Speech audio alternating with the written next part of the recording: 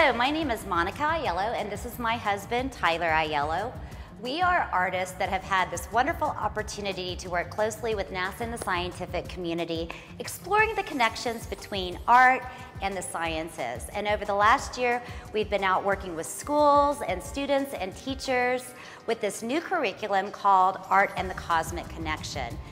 The program was developed for NASA's Discovery and New Frontiers programs and has been this wonderful way to use the elements of art to learn about the surfaces of the planets, moons, and small bodies of our solar system. So today what we're gonna do is we're really gonna get our hands dirty and talk about the art part. And I'd like Tyler to give you a little overview of what we have sitting out in front of us. So today the main materials we're going to be using are pastels. And as you can see in front of me, I have a whole collection of pastels, different sizes, shades, colors, even pencils. Um, some of the other things that we'll be using today are things like gummy erasers, which are great for blending and removing the pastels. There's also Q-tips, which can be used very well for blending and again removing. We also have a traditional blending stick. This again is used for blending and removing your pastels and creating lines.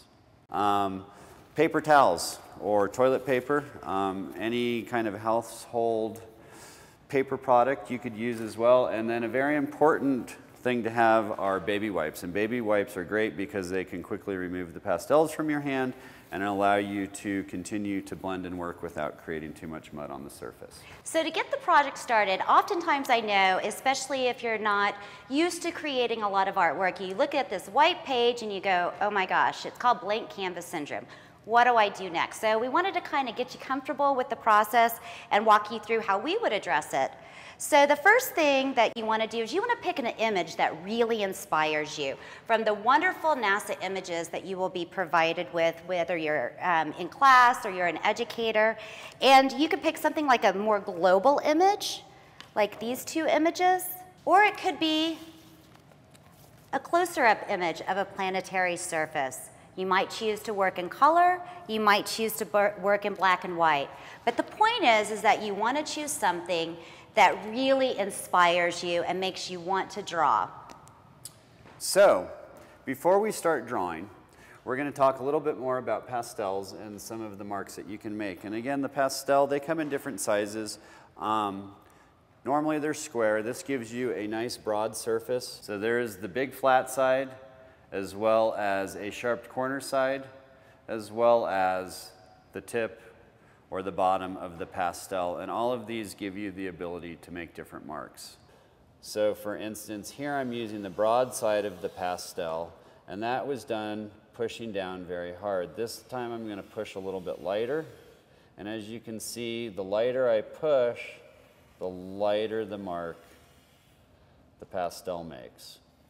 The other thing that you can do with the pastel is to turn it onto its, its short edge and by varying the pressure and twisting the pastel you can make various lines that give you a very value and line quality.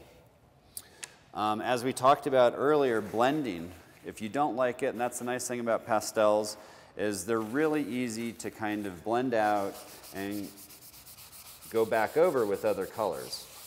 So don't feel like if you put something down on the piece of paper that you don't like, you're going to be stuck with it. Um, another thing that you can do is to add, use either hairspray or spray fix, which will isolate that layer of pastel and allow you to continue working on top. And these gummy erasers or kneaded erasers are really effective too to remove areas of the pastel pigment or simply make some interesting textures. What I think is what the most wonderful about pastels is they have this beautiful pigment load and they give you these amazing colors. And we're showing you a lot of tools you can use to blend your pastels, but honestly, one of the best tools you'll have are your fingers. Don't be afraid to get down and really make a mess. Tyler and I like to say that you're having the most fun in making art when you're making a mess.